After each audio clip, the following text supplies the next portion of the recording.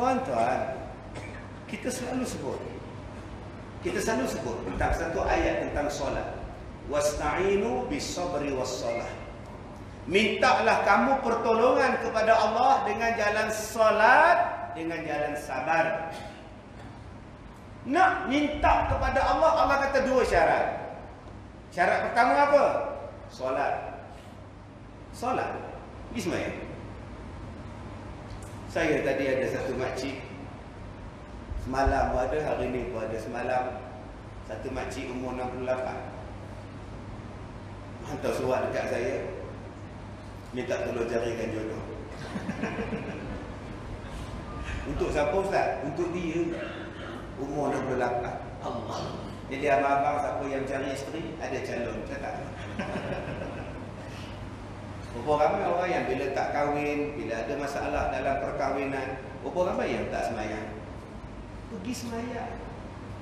Bukannya lepak, duduk tepi kolam. No, duduk tepi pantai. Menghiburkan hati yang duka. Sampai tak semayang maghrib, tengok matahari terbenam. Bila tu nak semayang kamu? Sembahyang itu menyelesaikan masalah. Allah bagi ilham. Nama malaikat yang menghantar ilham kepada kita nama dia Mulhim. Habis sembahyang buat-buat ilham akan datang, ilham akan datang. Dia bimbing kita. Solat itu bukan sia-sia tuan-tuan.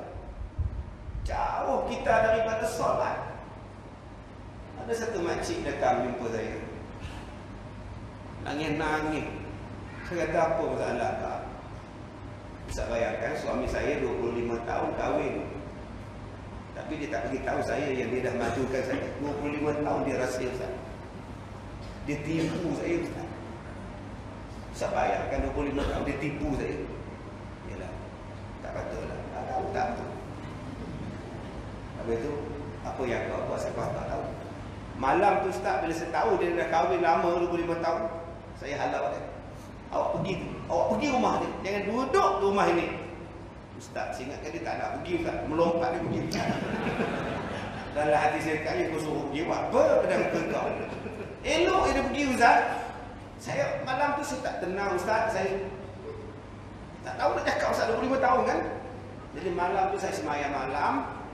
Saya baca Quran Saya tahajud Saya tahajud Saya tahajud. Saya rasa tenang Ustaz. Tenang saya rasa selama ni aku tak pernah semayang malam. Aku jaga suami aku. Tapi bila suami aku tak ada, aku persembahkan masa aku ini untuk Tuhan.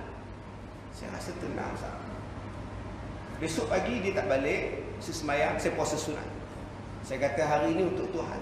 Selama ni aku bagi untuk suami aku. Saya rasa tenang Ustaz. Tak ingat apa masalah. Besok lusanya dia balik, baru saya jaga dia, saya teman dia. Malam yang ketiga Ustaz dia pergi balik ke rumah isteri kedua dia Ustaz. Saya tetap semayang, saya baca Quran, saya bagikan masa saya dengan Tuhan Ustaz. Saya rasa tenang sangat Ustaz. Habis itu apa masalah kak? Saya minta Ustaz cakap ada orang perempuan. Kalau nak rasa tenang, izinkan suami kahwin lain. Oh, subhanallah. Saya tak menyampaikan amanah daripada dia. Jangan marah saya tau. Ini amanah ni. Kalau tak menyampaikan amanah, masih munafik pula. Jadi dia cakap bila dia izin tu senang selesai tenang Ustaz. Allah Akbar. Puan-puan tak bagi ni tuan. Yang ketiga tuan-tuan, orang yang bisnes dia paling untung siapa dia? Wa anfaqu mimma razaqnahum sirran wa alaniyah. Orang yang menafkahkan hartanya secara sembunyi-sembunyi atau secara terang-terangan wa alaniyah secara terang-terang tak salah sedekah terang-terang pengurusi umum tuan-tuan pada malam ini kita akan menerima sumbangan daripada tokoh kokrat kita yang bahagia Tan Sri yang akan menermakan sebanyak sekian-sekian banyak untuk masjid kita dipersilakan Tan Sri di bawahnya mok cek tu tuan-tuan dah besar pelewut gogok-gogok-gogok bawa berapa ramai yang mutuk dia ya Allah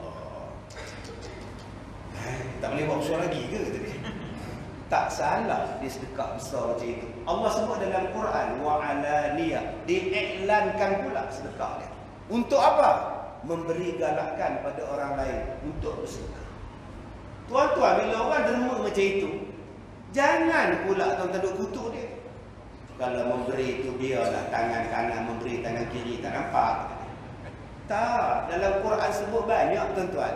Beri secara sembunyi boleh, beri secara terang-terang pun boleh. Beri secara sembunyi pun boleh, nama dia sirra, sembunyi-sembunyi. Silakan. Bisik dengan pengurusi. Saya tak ada nak bagi banyak pun, 500 je. Sebab apa senyap? 500. Cuba setengah juta saya. Kalau boleh buat majlis yang besar sikit lah ya. Kenapa tuan? Hai, macam mana dengar aja dialog tu. Macam anak-anak kita lah balik. Ayah, cikgu minta derma untuk nak buat jogaton. Walkathon. Liberton maksudnya. Syaiton. Banyak ni ton belakang. Cikgu minta derma ayah untuk berbuat majlis buka puasa bulan Ramadan. Berapa ayah nak kasih? Tulis RM2. RM2. Eh, bagi RM2. Tulis nama ayah eh. Hei, hamba Allah. Nampak tu kan? Pasal dua ringgit, hamba Allah dia. Cuba dua ribu. Hamba Allah kaya. Eh, hubung nama elok. Pak Mak Tempe. Besar-besar sikit kata dia. Yang itulah yang jadi salah. Tang situlah riak tu yang salah. Tetapi kalau kita memberi secara sembunyi atau secara terang-terangan, silakan. Janji ikhlas. Habis itu Ustaz kalau dah terang-terang tu ikhlas ke? Soalan saya pula, habis itu bagi sembunyi kompom je kompom ikhlas ke? Beri sembunyi pun belum tentu ikhlas. Dia letak je sejadah tulis kat belakang tu hamba Allah. Kenapa tulis hamba Allah? Takutlah orang tahu kan. tulis hamba Allah. Dia pergi kat batu cerita. Mana ke mana ajar masjid sedekah kapek. Ha ah. Tu yang tulis hamba Allah tu. Ha ah. Itu ikhlas ke tu? Tak kena juga. Yang penting ialah ikhlas.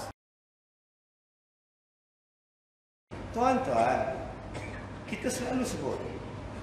Kita selalu sebut tentang satu ayat tentang solat. Wasta'inu bis-sabri was-salah. Mintalah kamu pertolongan kepada Allah dengan jalan solat, dengan jalan sabar. Nak minta kepada Allah, Allah kata dua syarat. Syarat pertama apa? Solat. Solat. Bismillah. Saya tadi ada satu makcik. Semalam pun ada, hari ni pun ada semalam. Satu makcik umur 68. Hantar surat dekat saya. Minta tolong carikan jodoh. Untuk siapa Ustaz? Untuk dia. Umur 68. Allah. Jadi abang-abang siapa yang cari isteri Ada calon Cakap. Berapa ramai orang yang bila tak kahwin Bila ada masalah dalam perkahwinan Berapa ramai yang tak semayang. Pergi semayang. Bukannya lepak Duduk tepi kolam. No Duduk tepi pantai. Menghiburkan hati yang duka. Sampai tak semayang maghrib Tengok matahari terbenam. Bila nak semayang kamu Sembahyang itu menyelesaikan masalah. Allah bagi ilham. Nama malaikat yang menghantar ilham kepada kita nama dia Mulhim. Habis mayang buat-buat ilham akan datang, ilham akan datang. Dia bimbing kita. Solat itu bukan sia-sia tuan-tuan. Jauh kita daripada solat. Ada satu makcik datang jumpa saya. Nangis-nangis. Saya kata apa masalah kak? Bayangkan suami saya 25 tahun kahwin. Tapi dia tak beritahu saya yang dia dah majukan saya. 25 tahun dia rahsia saya. Dia tipu saya. Bisa bayangkan 25 tahun dia tipu saya. Yalah. Tak patutlah. Tak tahu tak tahu. Habis tu apa yang kau buat saya tak tahu. Malam tu start bila saya tahu dia dah kahwin lama 25 tahun. Saya halau dia. Awak pergi Awak pergi rumah dia Jangan duduk di rumah ini Ustaz, saya ingatkan dia tak nak pergi Ustaz Melompat dia pergi Dalam hati saya kaya Kau suruh pergi Buat apa pada muka kau Elok dia pergi Ustaz Saya malam tu saya tak tenang Ustaz Saya Tak tahu nak cakap Ustaz 25 tahun kan Jadi malam tu saya semayang malam Saya baca Quran, saya tahajud, saya tahajud, saya tahajud. Saya rasa tenang Ustaz. Tenang. Saya rasa selama ni aku tak pernah semayang malam. Aku jaga suami aku. Tapi bila suami aku tak ada, aku persembahkan masa aku ini untuk Tuhan. Saya rasa tenang Ustaz. Besok pagi dia tak balik, saya semayang, saya puasa sunat. Saya kata hari ini untuk Tuhan. Selama ni aku bagi untuk suami aku. Saya rasa tenang Ustaz. Tak ingat apa masalah. Besok lusanya dia balik, baru saya jaga dia, saya teman dia. Malam yang ketiga Ustaz, dia pergi balik ke rumah isteri kedua dia Ustaz. Saya tetap semayang, saya baca Quran, saya bagikan masa saya dengan Tuhan Ustaz. Saya rasa tenang sangat Ustaz. Habis itu apa masalah kak? Saya minta usah cakap ada orang perempuan Kalau nak rasa tenang Izinkan suami kahwin lain Oh subhanallah Saya tak menyampaikan amanah daripada dia Jangan marah saya tau Ini amanah ni Kalau tak menyampaikan amanah Rasa munafik pula tu Jadi dia cakap Bila dia izin tu senang Selesai tenang Ustaz Allah Perempuan tak bagi dalam bagi tuan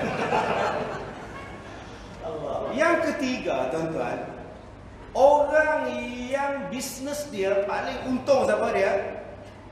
Wa anfaqu mimma razaqnahum sirran wa alaniyah. Orang yang menafkahkan hartanya secara sembunyi-sembunyi atau secara terang-terangan wa alaniyah. Secara terang-terang tak salah sedekah terang-terang. Pengurusi umum tuan-tuan pada malam ini kita akan menerima sumbangan daripada tokoh korporat kita yang bahagia Tan Sri akan menermakan sebanyak sekian-sekian banyak untuk masjid kita. Dipersilakan Tan Sri. Di bawahnya mok cek tu tuan-tuan, dah besar pelewut. Gogok-gogok-gogok bawa. Berapa ramai yang mutuk dia ya Allah. Eh, tak boleh bawa suara lagi ke tadi? Tak salah dia sedekah besar macam itu. Allah sebut dalam Quran wa alaniyah. Diiklankan pula sedekah dia. Untuk apa? Memberi galakan pada orang lain untuk bersedekah. Tuan-tuan bila orang derma macam itu, jangan pula tuan-tuan duk kutuk dia. Kalau memberi itu biarlah tangan kanan memberi tangan kiri tak nampak. Tak, dalam Quran sebut banyak tuan-tuan. Beri secara sembunyi boleh, beri secara terang-terang pun boleh. Beri secara sembunyi pun boleh, nama dia sirra, sembunyi-sembunyi. Silakan. Bisik dengan pengurusi. Saya tak ada nak bagi banyak pun, 500 je. Sebab apa senyap? 500. Cuba setengah juta saya. Kalau boleh buat majlis yang besar sikit lah ya. Kenapa? Hai, macam mana dengar aja dialog tu. Macam anak-anak kita lah balik. Ayah Cikgu minta derma untuk nak buat jogaton Walkathon. Liberton Syaiton Banyak ni ton belakang Cikgu minta derma ayah Untuk berbuat majlis buka puasa bulan Ramadan. Berapa ayah nak kasih? Tulis RM2 Eh bagi RM2 Tulis nama ayah eh. Hei Hamba Allah. Nampak tu kan Pasal dua ringgit, hamba Allah dia. Cuba dua ribu. Hamba Allah kaya. Eh, bubuh nama elok. Pak Mak Tempe. Besar-besar sikit macam ni. Yang itulah yang jadi salah.